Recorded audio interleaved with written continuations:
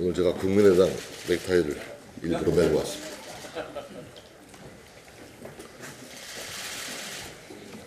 아, 두 야당이 내일 대규모 장외 집회를 한다고 합니다. 아, 국정 위기 수습에 책임을 가져야 하는 두 야당이 국회가 아닌 장외로 나가게 되어 안타까운 마음입니다. 어제 과학기술부 장관을 지내신 김영환 국민의당 사무총장이 장외 투쟁은 창당 정신에 맞지 않는다. 아, 라고 말씀하시면서 사퇴에 가셨습니다. 저는 김영환 국민의당 사무총장의 문제의식에 공감한다는 말씀을 드립니다.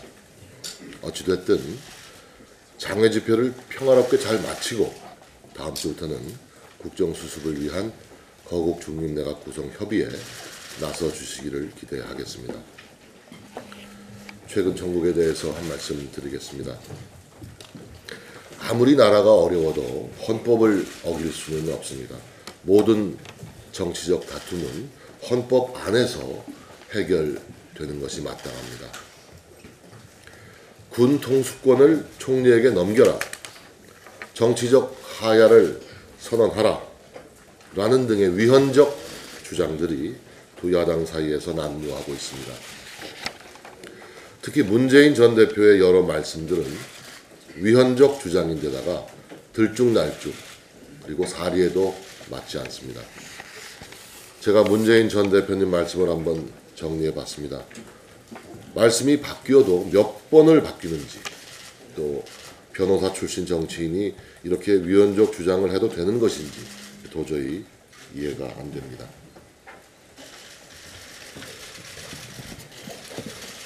문재인 전 대표는 지난 10월 26일 거국 중립내각 구성을 정치권 최초로 요구했습니다. 새누리당은 이를 바로 수용했습니다. 그러자 며칠이 지나지 않아서 새누리당 추천 내각은 거국 중립 내각이 아니다. 이렇게 말을 바꿨습니다. 이후에 대통령은 노무현 정부 출신의 김병준 교수를 총리 내정자로 지명했습니다. 그러자 11월 4일에는 국회 추천 총리 중심으로 거국 중립 내각을 구성한 뒤 그 내각의 국정운영 권한을 넘겨라. 이렇게 또 말을 바꿉니다. 그렇게 해서 박근혜 대통령이 국회를 직접 방문해서 국회에 총리 추천권을 넘기는 공식 입장을 밝히셨습니다. 그러자 11월 8일 문재인 대표는 또 말을 바꿉니다. 단순히 국회 추천만이 중요한 것이 아니라 국회가 추천하는 총리에게 조각권 국정 전반을 맡기고 대통령은 국정에서 손을 떼고 이선으로 물러나라. 이렇게 말을 바꿉니다. 이에 대해서 허원재 청와대 정무수석이 국회의장실을 방문해서 총리에게 조각권 및 내각 통할권들을 부여한다는 설명을 하였습니다. 사실상의 야당 제안을 다 수용한 것입니다. 그러자 이번에는 어떻게 또 말을 바꿉니까? 11월 9일 대통령 고유 권한인 군통수권, 계엄권 등을 거국 중립내각에 맡기고 대통령을 국정에서 손을 떼야 한다.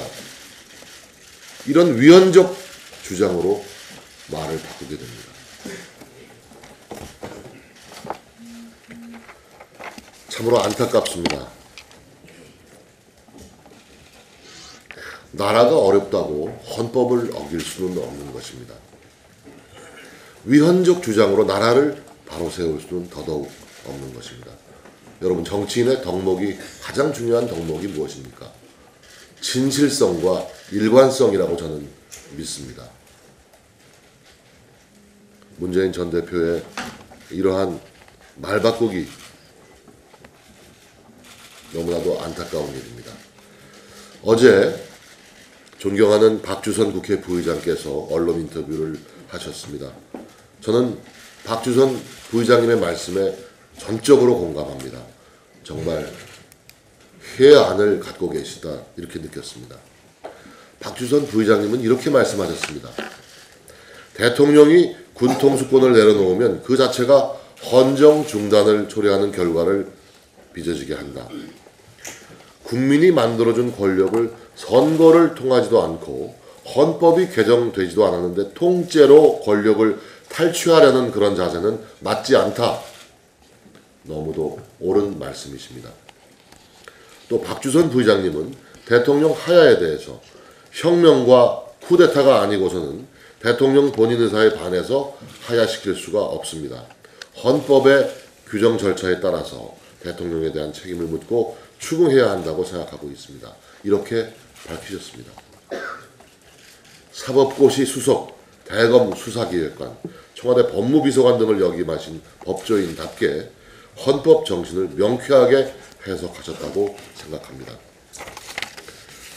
박주선 부의장님이 지적한 두 야당의 불통 모습도 귀를 기울일 만한 대목입니다.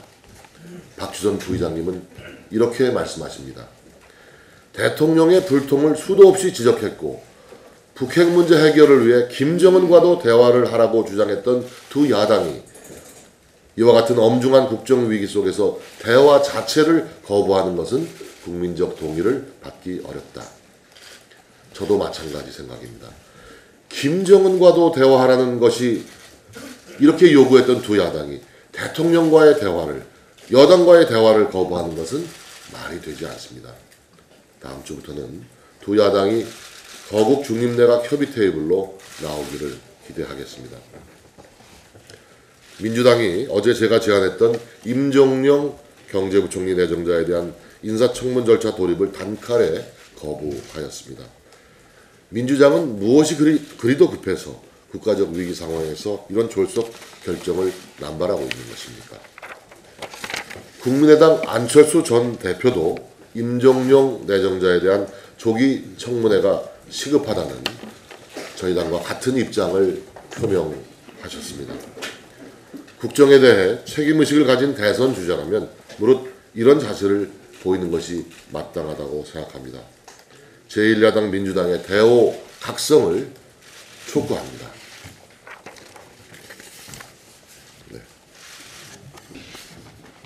미국 우선주의 America First를 내세우면서 신고립주의와 보호무역주의를 내세운 트럼프 후보가 미 대통령으로 당선되면서 세계 경제의 하향과 시장의 혼란을 우려했습니다마는 국내 증시가 신속한 진정세를 보였습니다. 첫날 2.3% 빠졌다가 어제 2.4% 올라서 제자리 회복했습니다.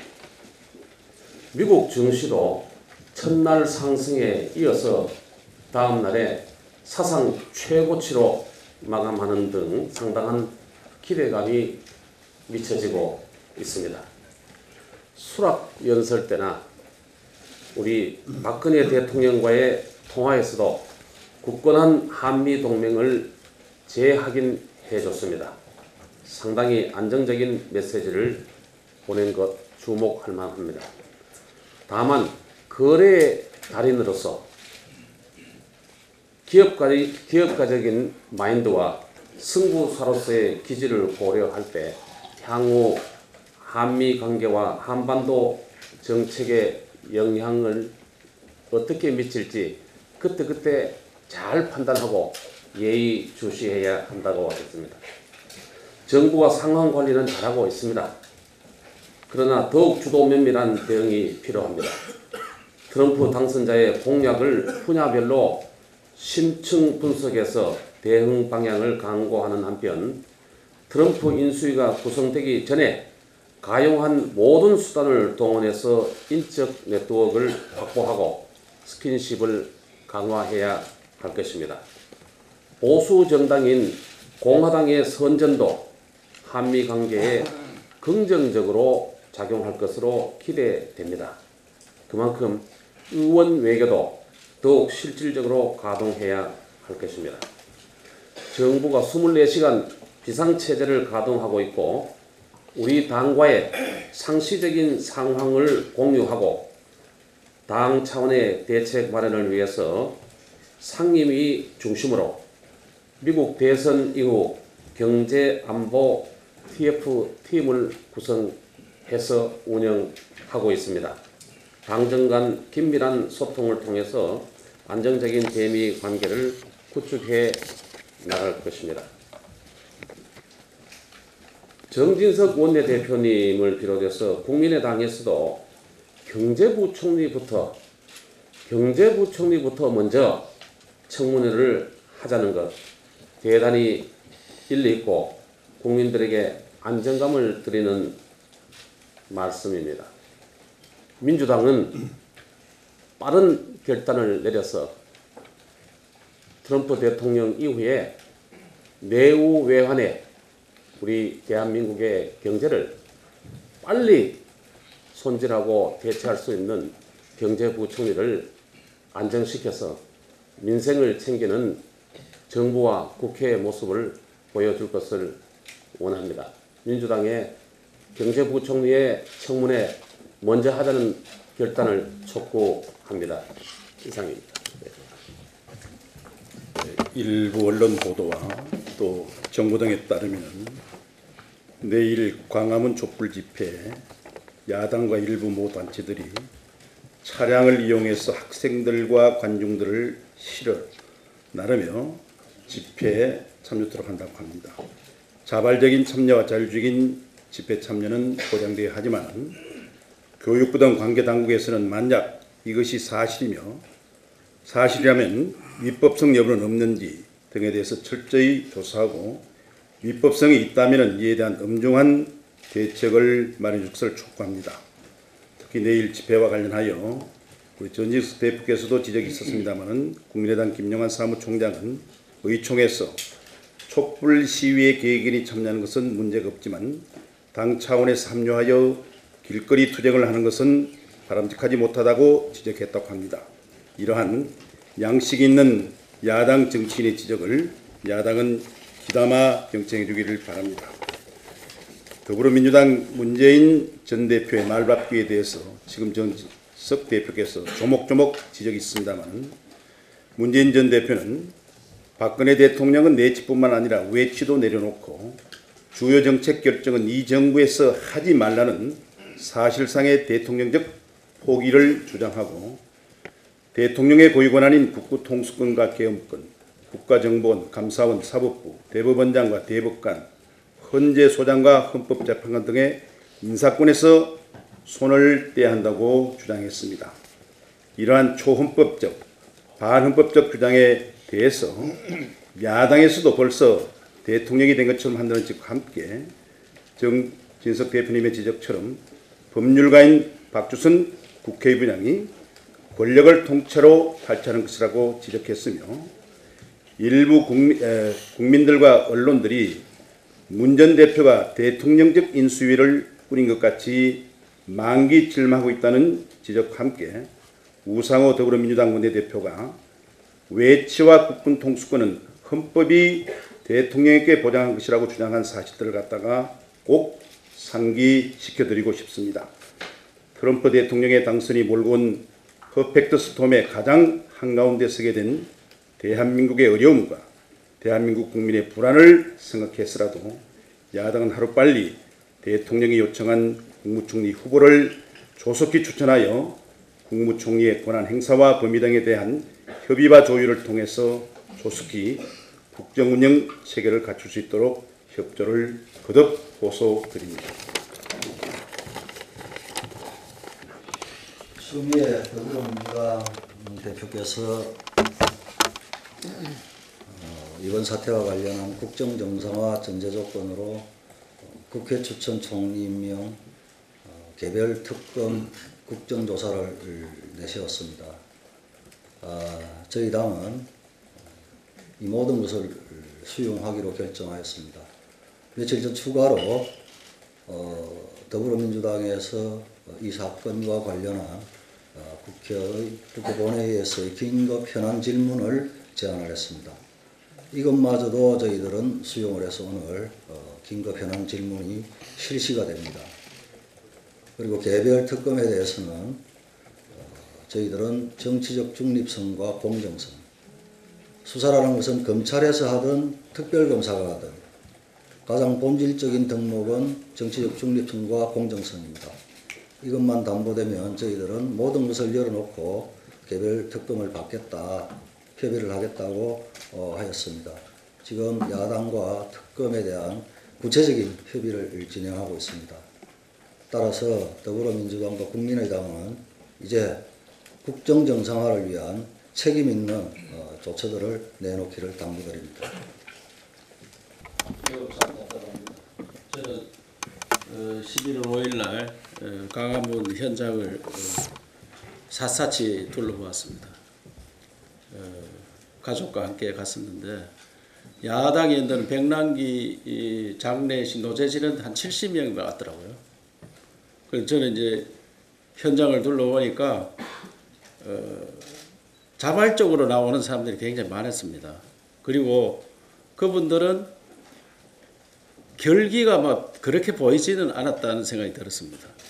그래서 이게 국민들 마음이 많이 흔들리는구나 하는 그런 생각을 하면서 현 정치권에 있는 한 사람으로 굉장히 미안한 마음을 가졌습니다. 그래서 저는 우리 어, 원내대표님께 어, 요청드립니다. 현재 이 상태로 그냥 가면은 세월에 빠져 있는 애들을 그냥 보고만 있는 상태가 똑같습니다. 그리고 결단을 내려야 됩니다. 미국 대통령이 바뀌어서 세계가 이렇게 빠르게 움직이고 있는데 우리는 뭘 할 수 있겠습니까 지금? 그래서 개헌을 통해서 대안을 마련해야 된다고 생각합니다. 그래서 여야 어, 대표단 회의를 거쳐서 로드맵을 만들어야 됩니다. 언제까지 개헌을 하고 현 대통령제로 가면은 또다시 불행한 대통령을 만듭니다. 그래서 저는 11월 16일 날 개헌하자 합시다 하는 토론을 합니다. 그런데 어, 대표님이 나서서 야당을 설득해서 일정을 마련해서 개헌을 통해서 이 나라 어, 로드맵을 만들고 그럼 대통령도 그게 기꺼이 응하리라 그런 생각됩니다. 그래서 이 야당도 무조건 길거리 나간다고 해결되는 거 아닙니다. 대통령 하야하라 하지만 법적으로 하야하는 제도도 없는데 어떻게 하야를 합니까? 그래서 개헌을 통해서 일정을 어, 마련할 수 있다고 생각합니다. 그래서 어, 우리 당에서도 어, 당권을 가지고 싸우는 것처럼 비춰도 안 되고 하니까 당 대표도 하루 빨리 결정을 해야 됩니다. 당 대표 협상을 안 하려고 하는데 어떻게 앉아 있습니까? 그러니까 그런 결정을 내려주시기를 당부드리겠습니다.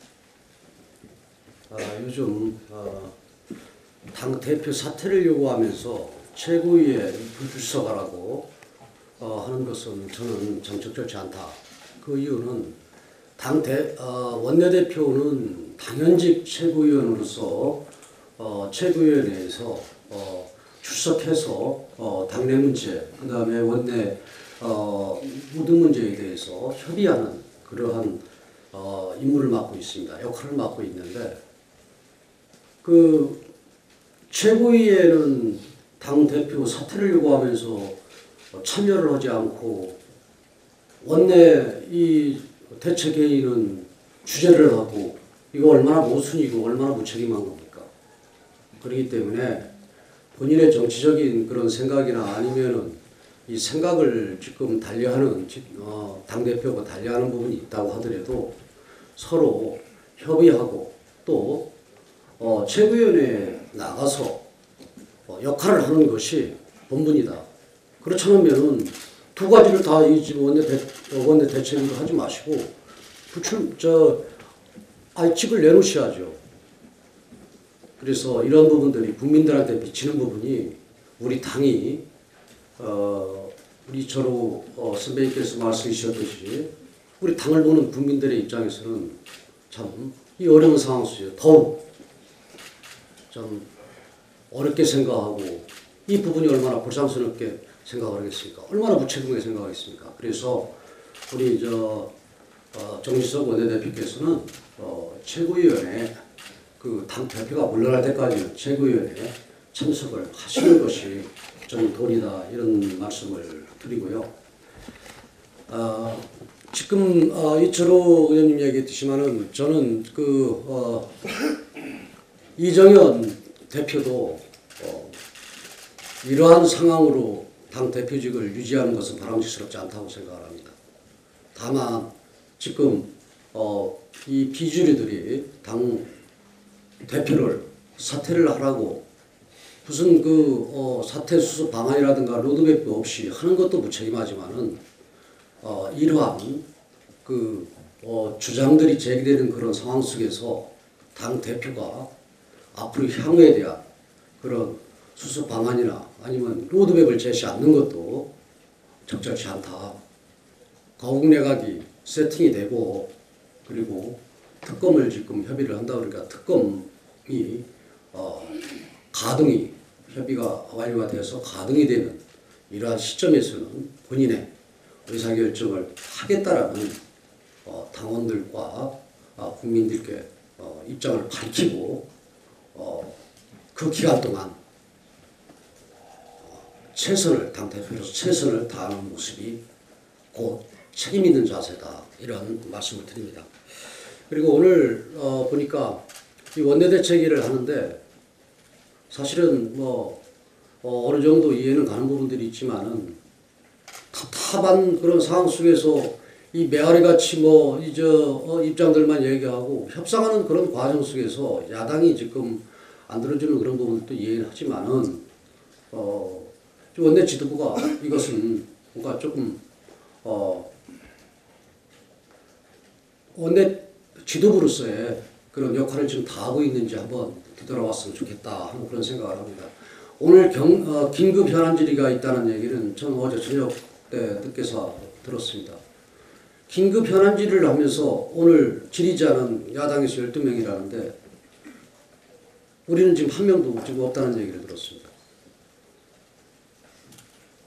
이게 전략인지 전술인지 전략과 전술이라고 그러면은 이걸 정확히 밝혀주셔야 되고 전략과 전술이 아니라고 하면은 이건 정말로 무책임한 거죠. 저쪽은 분명히 대통령의 그런 어, 여러 가지 그런 부분들을 어, 어, 실체가 있는 것과 실체가 없는 것들도 오늘 폭로를 하고 그럴 텐데 우리 입장에서 저는 대통령을 비호할 생각도 없고 또 비호하자는 얘기는 아닙니다. 다만 국정 운영의 한 축인 국회 그리고 아직까지 대통령이 그대로 존재하고 있기 때문에 집권 여당으로서 국민을 생각하고 국가를 생각하고 지금 현재 뭐 트럼프 대통령 되고 하면서 대내적으로 지금 어려운 이 상황 속에서 우리가 지금 내놓을 거 다 내놨습니다. 지금 정시석 원내대표도 말씀이셨지만은 거국내가 내놨고 특검도 별도 특검 받겠다고 다 내놨고 야당이 어, 요구했던 내용들 다 내놨습니다. 내놓은 상황 속에서 이러한 문제에 대해서 협의를 해야지 지금 긴급 현안 질의를 한다는데 뭐 어쩔 수 없는 상황이기 때문에 수용을 했겠지만 받아줬겠지만 그러면 우리가 대응이 있어야 되는데 대응이 하나도 없지 않습니까? 왜 우리는 대통령을 비호하자는 것이 아니라 지금 이 국가가 위기에 있는데 이 위기를 어떻게 우리가 어, 함께 극복을 하자라는 그런 입장에서 국민들한테 우리 입장을 전달할 수, 어, 전달해야 되는 거 아니겠습니까? 수용을 했다 그러면 저는 그래서 이 전략 전술도 없고 당 대표나 물러나라 그러고 최고위원회 출, 어, 불출마하라 그러고 저 어, 최고위원회 불출석하고 이런 모습에서 원내 대책 회의를 진행을 하고 하는 부분이 어떻게 비춰지겠습니까? 그래서 이런 부분들에 대해서 좀 심사숙고해서 앞으로 어, 좀 어, 원내 어, 대표로서의 어, 역할을 좀 충실히 좀 해달라는 그런 어, 말씀을 드립니다. 그리고 다시 한번 말씀드리는데 우리 당이 지금은 어, 수습이 우선입니다. 수습이 우선이고 그렇기 때문에 비주류도 어, 당 사퇴하라고 하는 부분들 조금 자제하시고 또 당 대표도 언제까지 이러한 이러한 일들을 마치고 내가 그만두고 우리가 새롭게 뭔가 탈바꿈 하는데 어, 탈바꿈 하는데 하기 위해서 내가 자리를 내려놓겠다라는 그런 로드맵을 제시하면서 우리 당이 하나가 되고 화합이 되면서 국민들한테 이 수습을 제대로 진정성 있게 하는 모습들이 곧 어, 우리의 지금 처해 있는 입장에서 역할이 아닌가 이런 생각이 듭니다. 이상입니다. 이렇게 그 원내대책회의에서 어, 공개적으로 이야기하는 것이 옳은지 예, 그것도 좀 사실 의구심이 듭니다만 어, 김태흠 의원님이 그 비주류가 지금 뭐 이정현 대표를 중심으로 하는 현 지도부 어, 사퇴를 요구하는 거에 대해서 이제 또 다른 의견이 있은 줄 알- 압니다. 하지만 또 우리 당내 많은 의원들은 지금 지도부가 수습 이야기를 하지만은 지금 지도부는 수습을 할 수 있는 신뢰를 잃었다라고 하는 것이 또 많은 의원들의 의견입니다. 또 그것이 사실입니다. 그것 때문에 에, 지도부의 그 사퇴를 아, 계속 이야기해 온 것이고 어, 여기 있는 모든 분들이 다 이런 당내 또 국정 혼란을 수습하고 싶죠. 또 당을 다 사랑하는 분들입니다. 아, 저는 그것에는 아, 이견이 없다고 생각합니다. 아, 하지만 우리가 아, 현재 혼란을 수습하고 싶은 마음은 같지만 수습할 수 있는 위치에 있으려면은 아, 신뢰가 있어야 되는데 이미 그 신뢰를 잃었기 때문에 예, 수습할 주체가 되기 어렵다라고 하는 것이 또 많은 의원들의 생각입니다.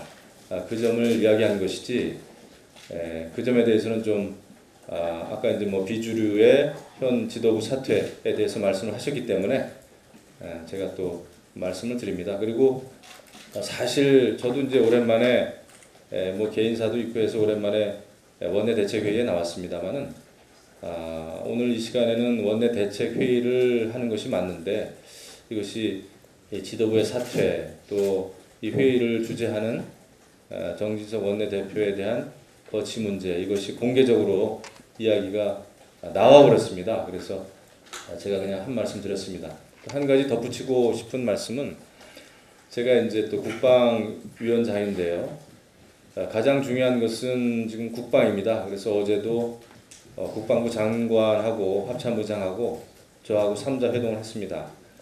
특히 트럼프 후보가 이제 당선이 됐기 때문에 예, 주한미군 주한미군 방위비 분담금 문제가 이제 예, 가셔야 될 것입니다.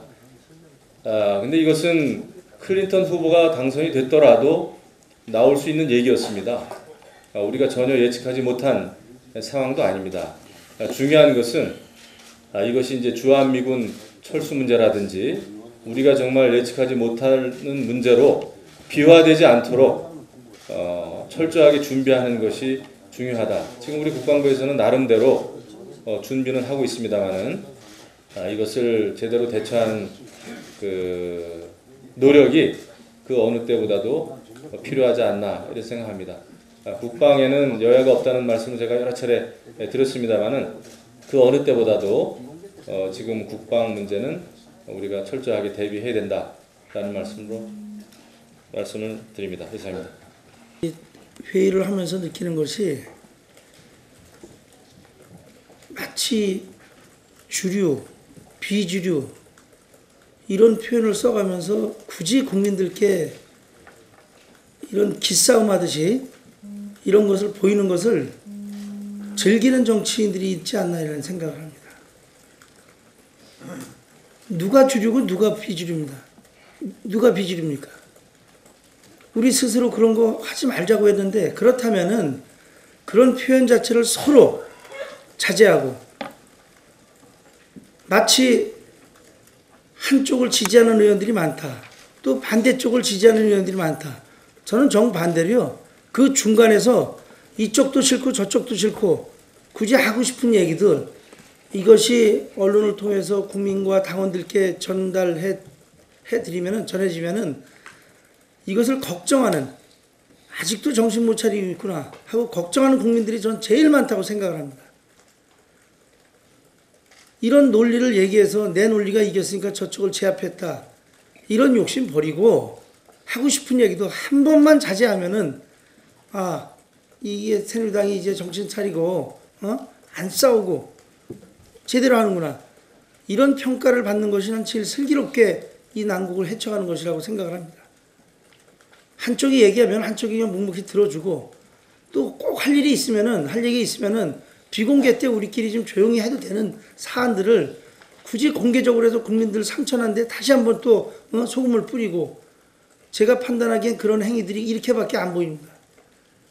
어제도 저희 재선위원들 몇 분께서 조용히 정말 이런 어, 이 정파가 모이는 것처럼 안 보이려고 조용히 차 한잔 하려고 했는데 이것까지도 전부 언론이 골- 공개가 됐습니다. 차라리 만나지나 말걸 하고 후회를 했습니다. 집에 가서. 저희는 이렇게 서로 자극하고 그런 것을 좀 줄여 막아보려고 이렇게 설득해 나가고 조용히 한 명 한 명 만나가면서 하는 이런 티타입을 갖다가 주륜이 친박이니 거의 평소에 소신들이 막 섞여 있는 분들까지도 그렇게 분류가 돼서 국민들께 또 여과 없이 나갔어요. 이러기에 우리가 늘 싸우는 걸로 보이는 겁니다. 사실 저는 우리 대한민국 국민들과 우리 당원들이 아직까지도 우리에게 시로라기 같은 희망 하나가 있다면은 싸우지 않는 것을 보는 거라고 저는 생각을 합니다. 그래서 어, 공개 때는 당무와 또 원내 어떤 행정과 관련된 이런 말씀 위주로 좀 해주시고 우리 내부의 문제는 제발 우리끼리 조용히 큰 소리 안 내고 이렇게 슬기롭게 조용히 어, 대화할 수 있는 이런 분위기가 좀 됐으면 하는 마음에서 말씀을 드렸습니다. 이상입니다.